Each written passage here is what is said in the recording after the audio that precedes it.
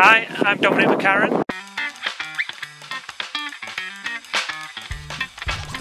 It's the 2nd of January 2019.